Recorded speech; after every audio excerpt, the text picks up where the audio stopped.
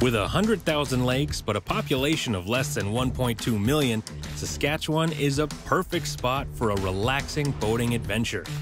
I mean, 12 people per lake is a pretty impressive ratio.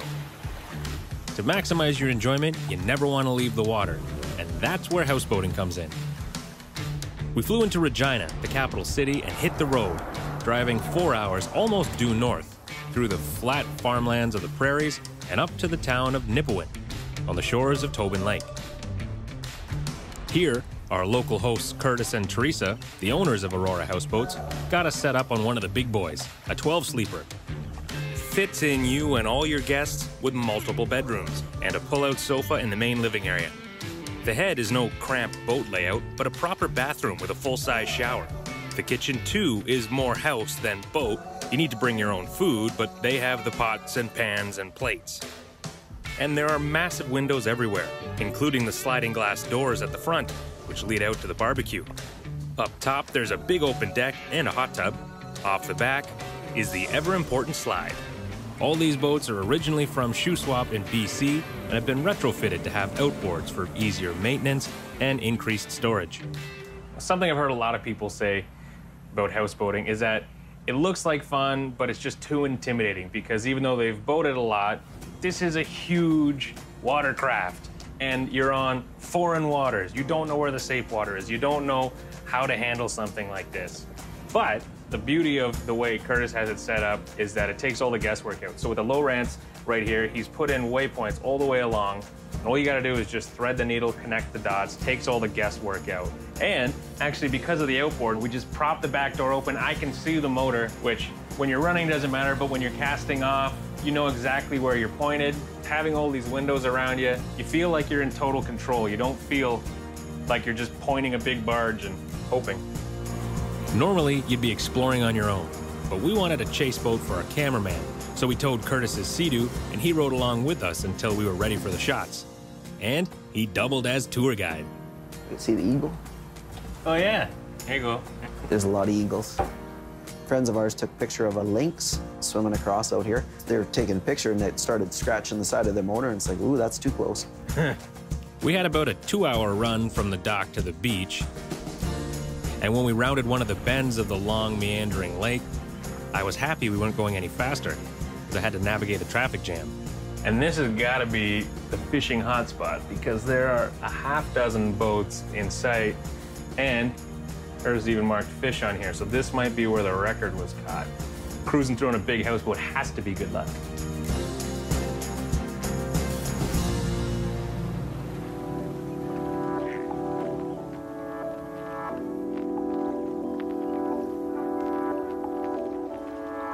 Beaching a houseboat goes against a lot of instincts. First and foremost is running aground. Neutral. Perfect. And then you have a current to contend with, so you got to keep the motor running while you tie up. Might have to put it back in gear because the back end's starting to go out on you. If the wind blows that way, the rope's going to hold it. Same thing this way. We've never had one pull out. We've been using these for 15 years, I bet. I think the bachelor parties do the, like run in a circle. Yeah. when you're tied up, it's best to raise the motor, just in case you're the first ever to drift off. You don't want that prop banging into anything. So now this is home. Love it. Fish off the back, jump off the back. Always wanted waterfront property. I'll maybe get some water in that hot tub, get it heating.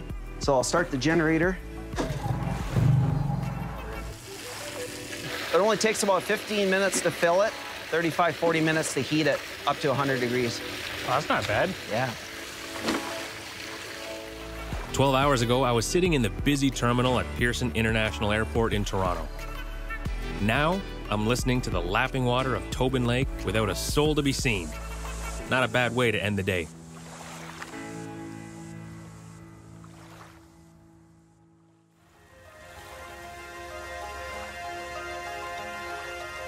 The next morning, we're up at first light because we wanted to try our hand at some Saskatchewan fishing.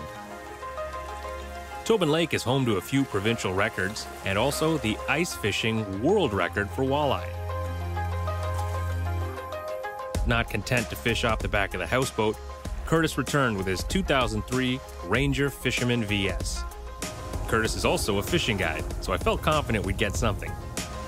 What are we fishing for here? Uh, we're looking for walleye this morning. All right. A dual console layout, there were three seats, including one that was set up in the bow seat mount, though it could be moved aft. Everything about this boat is fish first, with multiple dry storage compartments in the bow and a massive rod locker in the walkthrough between the consoles. Outfitted for virtually any condition, this Ranger was kitted out with a Minn Kota trolling motor at the bow, a Minn Kota Vantage transom mount, a 15 horsepower Mercury kicker.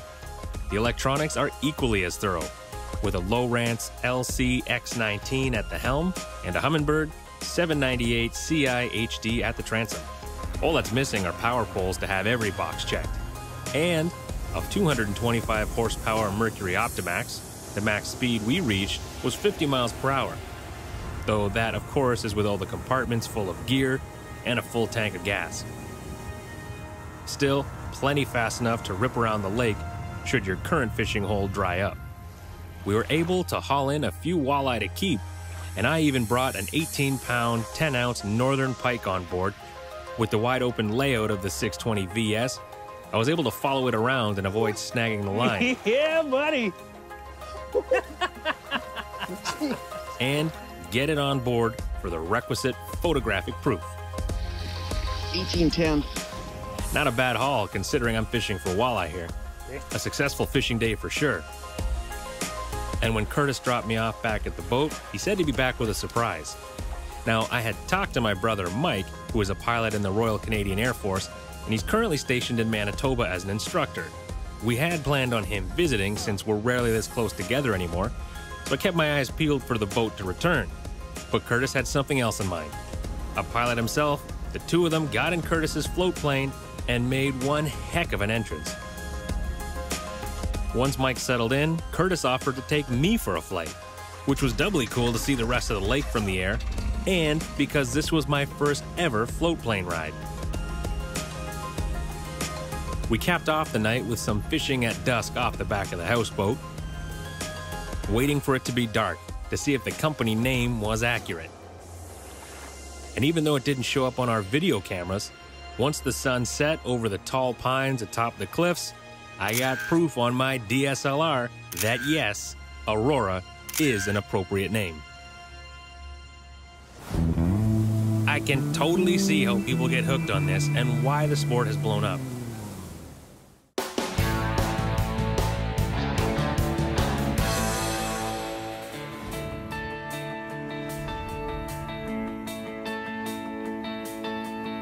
Aurora Houseboats is based within Nipawin Regional Park. And it's a family friendly kind of spot covering 296 acres with cabin rentals and seasonal campsites, mini putt, a splash pad, a small farm with goats and rabbits and chickens, and a playground for kids uh, of all ages. We get a variety, and that's what makes it fun for us because you get to meet a variety of people. I shouldn't be biased, but families are our most favorite to host, and there's either grown children or young children, but they're making memories together. And as a young person, those are some of my best memories is houseboating with my family. So it's just nice to see that they are also having the same fun experiences. As a father with a young child, I can see why this is a great family vacation. You're forced to be together, but there's so much to do and it's a fun adventure to share, so you're not locked away and bored. Before we headed back to our houseboat, I heard that Curtis's brother had a Malibu surf boat and wanted to come out to the beach, but he was stuck at work. So we hooked up our loaner truck and headed down to the ramp with it. A sort of mutiny on the Malibu situation. Now, I've launched a lot of boats and was doing what I had done many times before, so it seemed odd when someone flagged me down. We're here in the parking lot, and I was about to line it up to launch it. Grant Bastido with Ford of Canada has a cabin on this lake, and he said, are you using the backup assist feature on the Raptor? I said, what are you talking about? so Grant's gonna explain it. What, do we, what, what are you talking about, Grant? Well, it's a super cool new technology um, that allows you to back up a trailer basic, basically hands-free. So it'll back you up straight as an arrow without you ever touching the steering wheel. All you have to do is work the brake and the uh, gas pedal and back you straight in. You have to do a few measurements to get your specific trailer set up, but once it's done, it's saved, and you can use this anytime you hook up. Yeah, now I'm lined up right with the ramp. I'm trailering in the future. it's awesome. Back at our houseboat, we found we had neighbors. The Warlow family has been coming here for 15 years and are actually good friends of Curtis and Teresa. It is a busy lake, but it's a big lake, so there's lots of room. I mean, you get out uh, off of the river system, you get onto the lake, and there's lots of space. And we love to fish. Fishing is phenomenal here. Now we enjoy the beach time with the kids and spend a lot of time out here at this particular beach right here. We let them have their family fun, and I, meanwhile, got goaded into trying something new wake surfing. Curtis's brother Kevin kicked it off to show me how it's done. And to be honest, to make sure we had footage of someone surfing if I couldn't get up.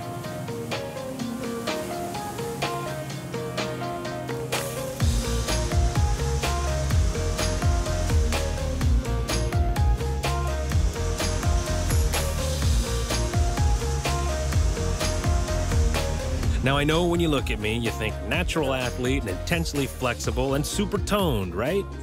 Well, I hope you're sitting down, folks. That is not quite the case. So I was a little nervous about giving this dad bod a test on something I've never done before, all while the cameras were rolling. Luckily, I had wakeboarded back in the day, and getting up was pretty similar. The rest was balance. Still, this was different, but a lot of fun. I can totally see how people get hooked on this and why the sport has blown up. Gonna go again? I also had the bonus of having Coach Kevin talk me through it. But that's part of the fun. It's a social activity. And the more I did it, the better I got. Tons of fun, low impact, so when you bail, and as a newbie, you will. It doesn't hurt, and yet it's still a decent exercise. Curtis's sister in law, Shelly, made sure to knock us all down a peg before we called it a day. Sunset surfing and Saskatchewan go together like combines and overused prairie references. What a beauty way to end the day. So close.